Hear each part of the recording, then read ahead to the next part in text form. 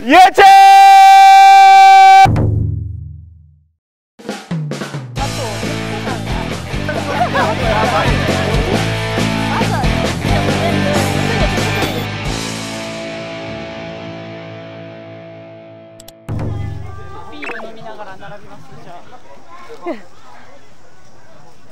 あそこにあのドリンクのゆ UK 界一美男美女の2人がいましたよ。誰？完全ビジュアル効能いやあの今瀬山の前紹介で UK 界一のチャラ男とチャラ子がっていう美男一女一。2人です。がなんとルビーやってます、はい。カメラ映えします。これ見てください。CM ちょっともう瀬山さん今日やる気なくて一杯引っ掛けないとダメなってことなんで。許可もいただいてるんで。ちょっと一杯いいですか？絶対飲んでるよ。してますよ。ね絶対飲んでるよ。してますよねあどうしよ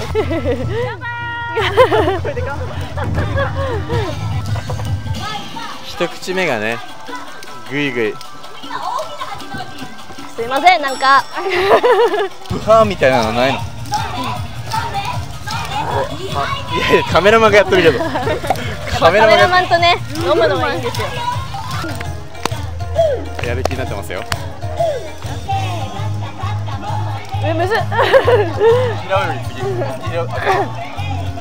っ たのあ違った。あれ？平泳ぎは？平泳ぎは？覚えた。そうなの。に下手くそ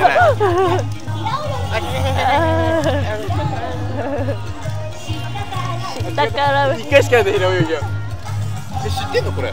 でで ふるさと学者の YouTube と申します。すいません。千葉県船橋市で、えー、よさこい鳴子踊りの活動をしております。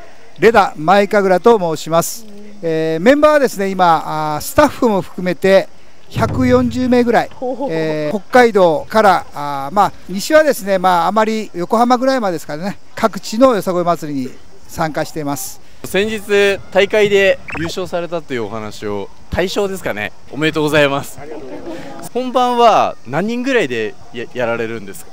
札幌のですね、えよさこいソーラのステージっていうのはかなり大きくて、え最大150人が踊れるステージなんです。札幌のそのソーランのステージに来ていただきますと、150人規模の踊りが何チームか見れるということで。今日のパフォーマンスでもすごかったのに納涼祭が大きくなった時はフルフルメンバーで。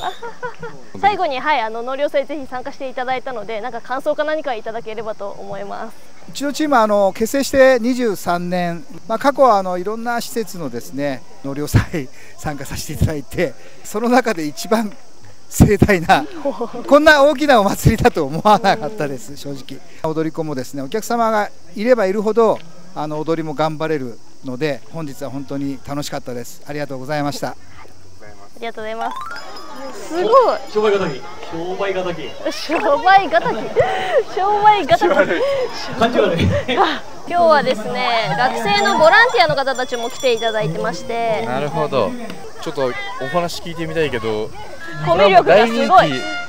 ごめん大丈夫？顔と名前使っちゃって。大丈夫ですよ。大丈夫？大丈夫 なんでこのボランティアに参加してくれたのか。と私たちあの作業療法士の勉強をしてて大学でそこでボランティアの募集があったのでいろんな人と関わりたいなと思ってボランティアに参加しました。そうするといろんなところがあるってこと？参加するボランティアって。私たちは1年なのでまだここしかあんまりなかったんですけどお祭り楽しそうだなと思って。なるほどなるほちゃおうって言ってねど。どうですか実際やって楽しいです。確かに楽しそうだった。何やってんの？ちなみに。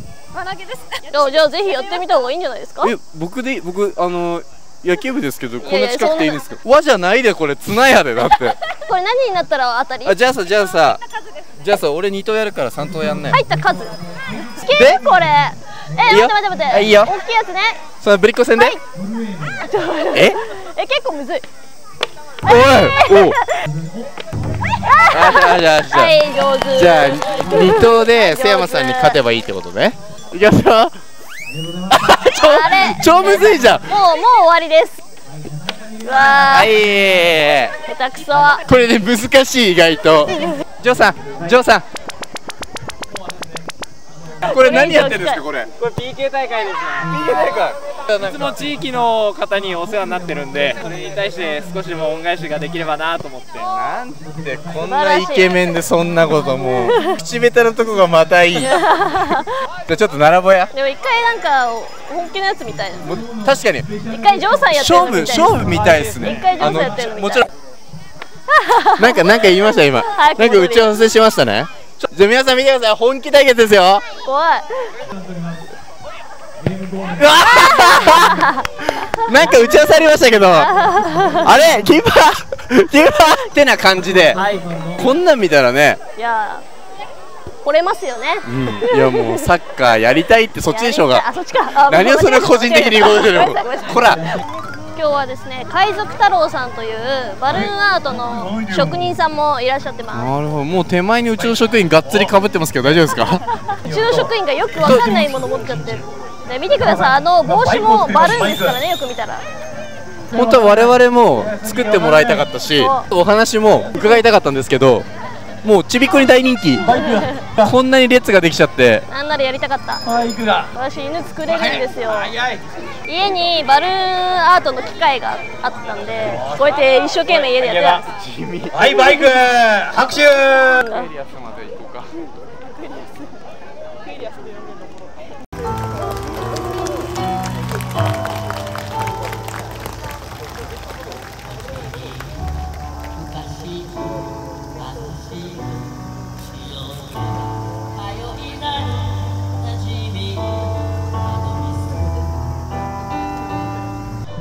1時間後にインタビュー？そう。大変だこりゃ待ってこれあれじゃない？紅の豚？代表曲。紅の豚の曲です。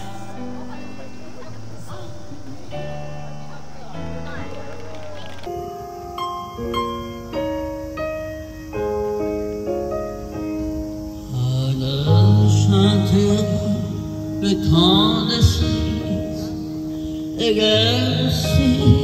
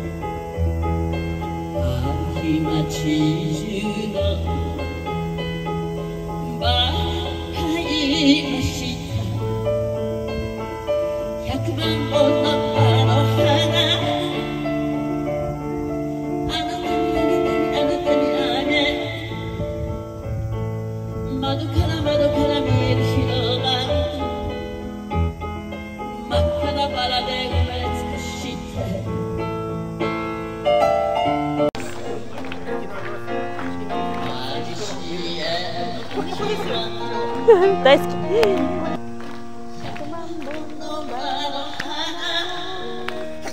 歌えちゃう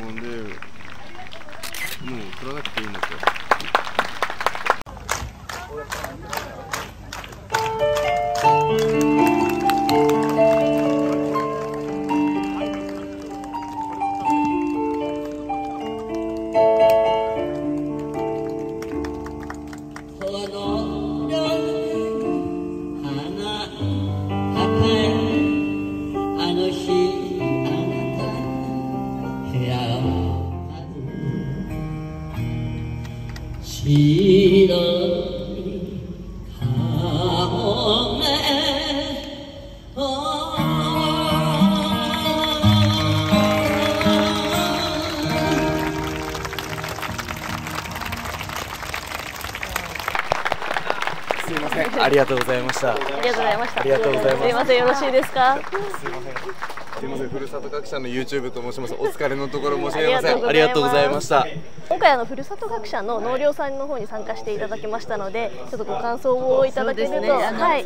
いや本当に素晴らしくて夢のような場所だと思いました。まあ最初はここはまだ本当に山の中で皆さんあのここを建設してきた開拓して作ってきたっていう聞きまして今日はあの入所していらっしゃる皆さんできるだけたくさんの人とおお会いして思い出いっぱいできました、はい。このスペースも本当にこんなにのびのびとした空を見ながら歌えて幸せでした本当に。先ほどあのお聞かせいただいた100万本のバラもですね、あの東宝寺の理事長の里見がはい。大好きで、本当にいつももう目をつむって熱唱をしているような方で私もあの生で加藤様のあの100万本のバラ聞けてあの最高でした。ありがとうございました。今回あのコロナ禍でもうなかなか行事ができなかった中なんですけれども4年ぶりに、はい、この納涼祭をやるっていうことで よかったですね、はい。よかったですねでその納涼祭に、まあ、スペシャルゲストとして、はい。あの加藤時子様が、はい、いらっしゃるっていうことであの利用者さんとあと職員とご家族の方がもうものすごく喜んでいまして、でもうちょっと大変恐縮なんですけれどもあの皆さんにメッセージをいただけると、はい、言っちゃいけないか来年も読んでよか。っていい言っていいか。明るい時間からねあの歌ったのでお一人ずつの表情がすっごく私心の奥に残りました。いろんな意味で共に生きている。共に生きようねっていうそういうあの縁はすごく大事にしたいです。どんな時も一人ぼっちの時も必ず私たちは結ばれて生きている。そう思ってあの勇気をふ持って楽しく暮らしましょう、はい。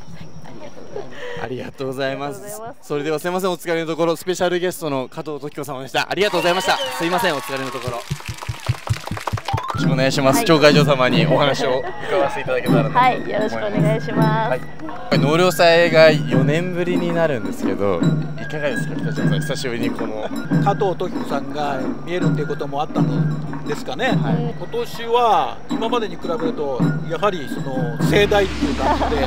まあ以前は体育館の方にもお越しいただいてたりしてたと思うんですけどもコロナの影響もあって、まあ、なかなかね施設に来ていただく機会がなかったと思うんですけど本当にね久しぶりにはい。納涼祭で地域の方お越しいただいて楽しんでいただけたら嬉しいなというのが、えー正直なところなんですけどまあ近くでね、あのこういうイベントが行われるってことは紹介の中もね、少しこう明るさがね 出てきたんじゃないかなと私は思っています、非常にありがたいことです。いやいやいや、こちらこそ。警察学者さんはね、もう道あるじゃないですか、信号から入ってくる道、あそこの草刈りしていただいたり、あとは神社の下にこうお花植えていただいたりしたじゃないですか、そういうのを見るとね、気持ちがね、もう和やかになります。ありがとうございます。地域の方、うん、あっての今のふるさと学者だと、うん。ありがとうございます。地域のいやいやもうこちらこそありがとうございます、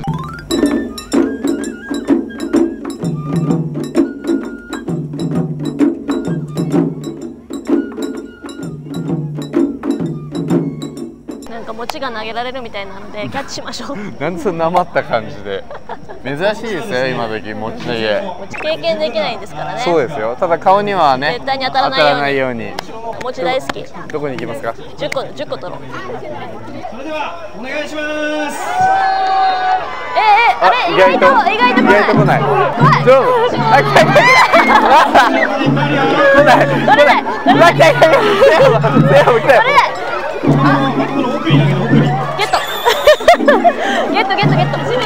意外と来ないだよあれ？上手。あ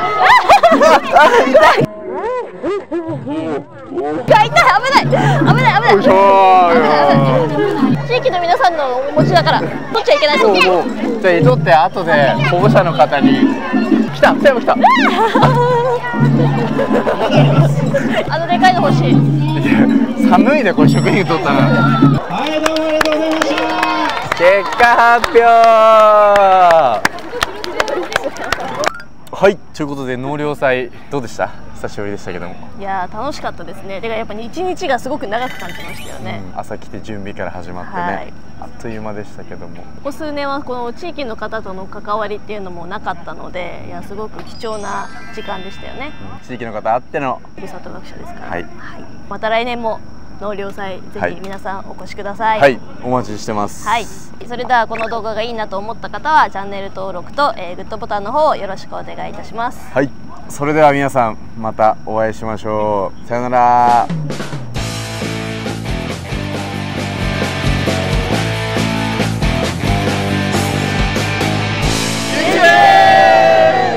はい、ありがとうございました。すみません、お疲れ様です。ありがとうございますすみません、ありがとうございます。ありがとうございます